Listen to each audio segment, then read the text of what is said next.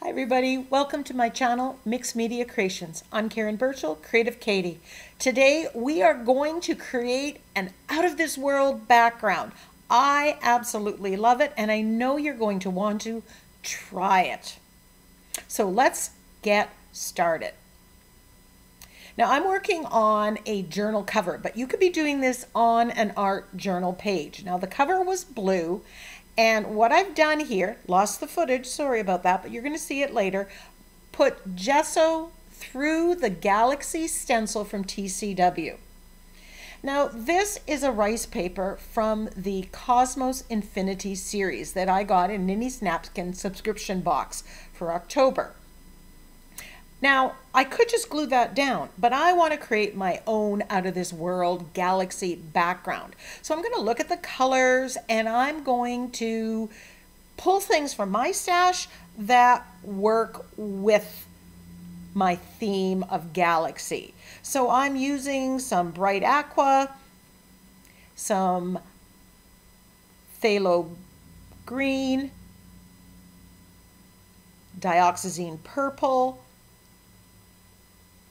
and Prussian blue. And I'm mixing that with a makeup sponge right on to my background. I didn't gesso that. The only thing that was gessoed was the Galaxy imprint. And you can see how the gesso that I put there is acting as a resist. And if you want, you can wipe that back to have more showing through. Love that using gesso as a resist technique works. And I'm just building up the colors. And I want some variations, some lights, some darks. Now I'm going to be doing both sides of the front and the back cover. So basically I'm doing four backgrounds, four pages. And what I'm working on right now is actually going to be the back cover. And that's a little trick of mine when I'm doing a journal cover. I do the back one first and I figure out what I'm going to do and this is the one that I'm going to make mistakes on, but it's going to be on the back. So by the time I do the front one, which you're going to see in a little bit, I can tweak it and improve it and do a better job of it. Now you can see this cover had a lot of texture on it, so I'm just going to play up that texture and utilize it in my background. In between, I am taking the time to dry, but most of that you don't see on camera. I'm just adding a little bit more of that bright aqua just to get some light areas. Now this is the Sacred Geometry stamp from Stamperia. And the designer of this is the same designer as the Cosmos collection and the Cosmos Infinity collection, which is the new one. But I love the stamps in this Sacred Geometry set. And because it's the same designer, they all work together. Now, if you don't have these exact stamps and stencils that I use, you can use what you have, but stick to the same colors and you're going to get a similar kind of effect. So if you like the overall look, you can go with it. Now I love this one. Here's, this is Naples Yellow and I'm putting acrylic paint on this and stamping it. So I've got the blues, the greens, the goldish yellow. So that's my color scheme.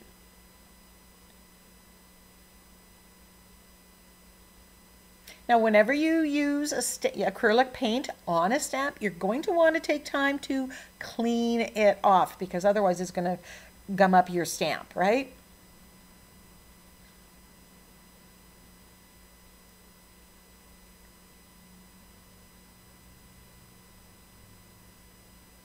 So this is Pegasus, and I cut this out of one of the scrapbook pads that I have from the Cosmos Infinity series. We'll come back to that later. Now, because that has white in it, I wanted to input a little bit of the white into the background. So I grabbed this French script stamp. I've had this forever. It's one of my favorites. It adds a small pattern detail to the background. And I'm just putting it here and there just to introduce that white that's going might be in the sentiment and might and is in the, on Pegasus into the background. You want all those colors to work together. At this point, I'm just saying, I love this background. You can see where the gesso resist is, the galaxy stencil that I did. Every component of this just makes it OMG yummy.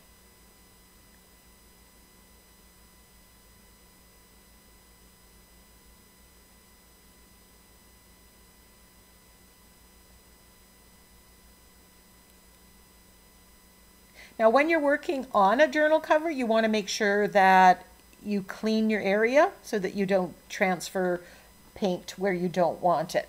So now I'm doing the front of the cover and I've decided that I want a little bit more texture.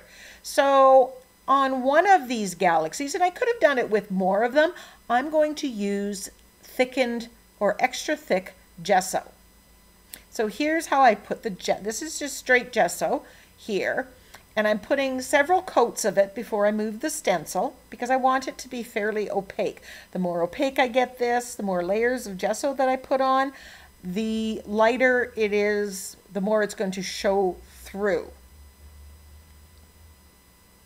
So both of these are just gesso. And the one on the top, I'm going to put the thickened gesso through. This is the TCW Galaxy stencil. So it, it works perfectly well and really fits my overall theme.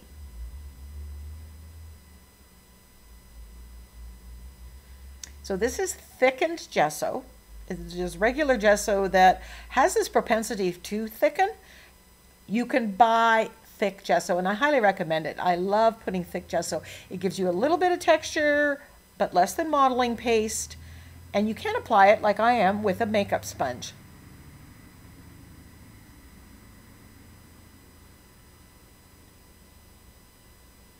So once that's dry, the texture is there.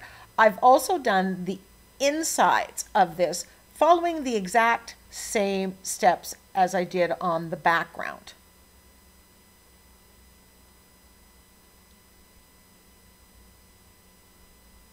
So now we're going to colorize the front. So again, I am putting the same colors.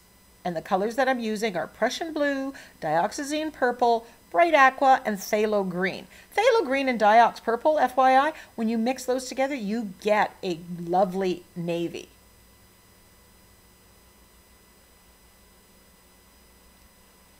So once the background color is done, I'm add doing the stamping just like I did on the first one using the Sacred Geometry stamp set from Stamperia.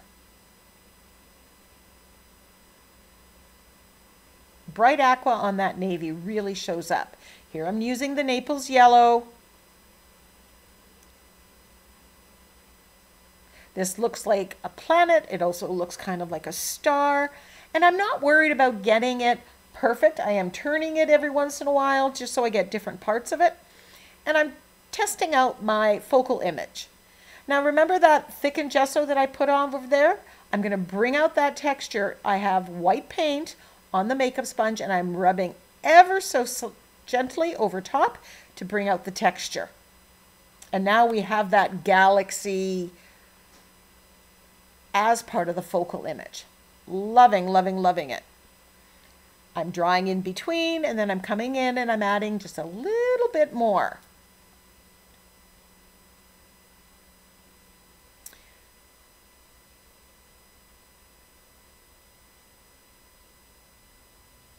And then I'm stamping with the French script stamp.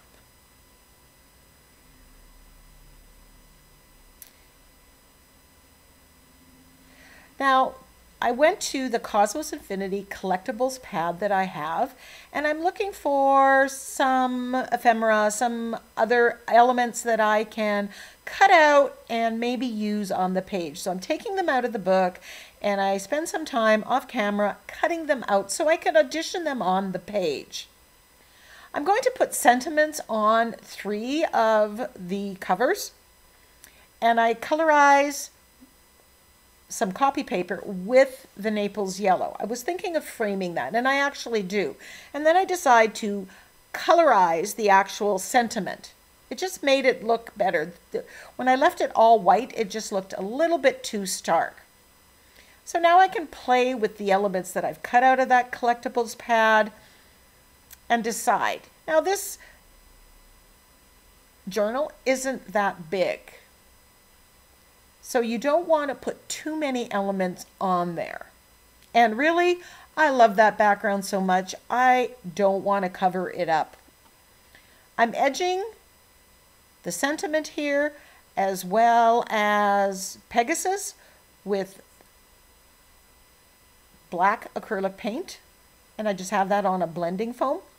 The sentiment there is from my latest sentiment pack that's available at Ninny's Napkins. FYI, the entire Cosmos Infinity set, including stamps, die cuts, scrapbook pads, and stencils, I believe, are available at Ninny's Napkins. There's a link in the description box below and a coupon code. I glued this down with gel medium and I'm edging it with black just to frame my page. So it doesn't matter that it's a cover, I pretty much follow the same steps. So this is the inside and here is one of the elements that I cut from the collectibles pad. And some more sentiments from my Reach for the Stars sentiment pack.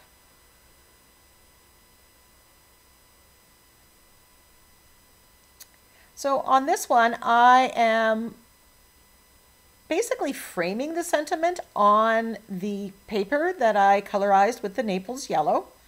Now I sprayed the stamp, the scrapbook paper ephemera with a little bit of water and then put the gel medium on and that really helps it glue down quickly. I've seen that trick on some videos, and this is the first time I tried, but boy, did it work. So now on the back cover, I'm thinking I would like to put a lot of inspirational quotes. So I'm cutting them out and I'm auditioning. Do I want to put two of them? Do I want to put three? What am I going to put? And I go with this card, which is also from the collectibles, and the sentiment, go where the stars take you. I'm shading around my focal images on each of the pages.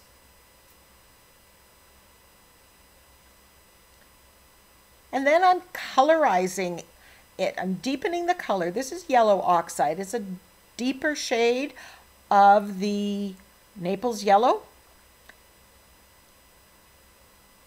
And I'm just deepening the color. I'm liking how that looks. So even this card, I'm colorizing it. I'm watering down the paint a little bit and at making that gold really stand out. And I really like how that gold warm yellow is showing with the navies and the blues in the background. So I continue on and I'm just colorizing. I'm tweaking the colors, making it fit my composition.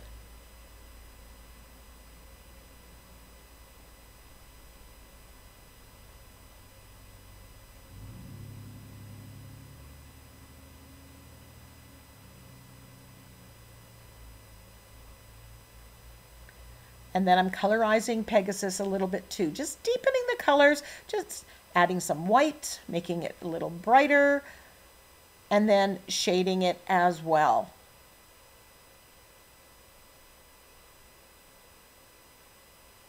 I have a rice paper with Pegasus that is a larger scale than this. And of course, the 12 by 12 scrapbook pad would have a larger Pegasus. That would look lovely on an 11 by 14 canvas. And I think that I have one of those in my future. I think that would make a beautiful wall hanging.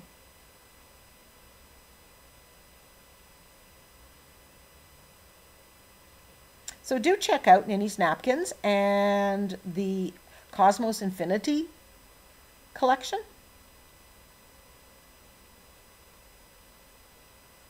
Here I'm using my Inktense blocks to colorize. I didn't have the right color, so I was using that. I'm outlining everything with my black Posca pen.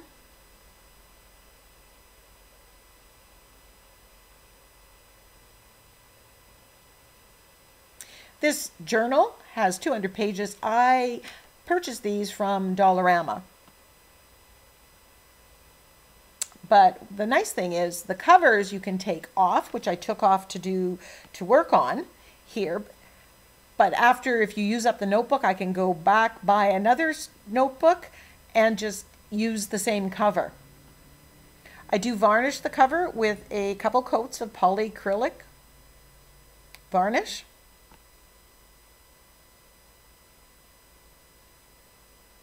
as well. So they're very durable. And of course, I need to splatter with gold, which again works so well for this galaxy background. There's lots of pictures coming up.